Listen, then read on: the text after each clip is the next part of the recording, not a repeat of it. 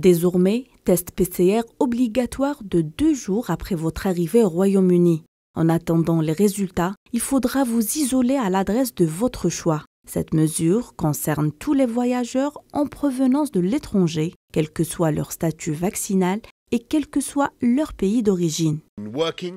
Nous n'allons pas empêcher les personnes de voyager, mais les gens qui viennent au Royaume-Uni doivent faire un test PCR au deuxième jour et doivent s'isoler en attendant un résultat négatif.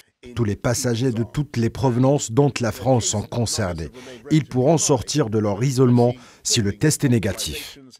Cette nouvelle mesure remplace ainsi le test antigénique qui était demandé deux jours après l'arrivée des voyageurs sur le territoire. En revanche, aucun isolement n'était jusqu'à présent requis en attendant les résultats. Boris Johnson, le Premier ministre britannique, a expliqué samedi, lors de sa conférence de presse, que le port du masque redevient obligatoire dans les lieux publics. Selon lui, cette série de mesures vise à freiner l'épidémie de Covid-19 et empêcher la propagation du variant Omicron.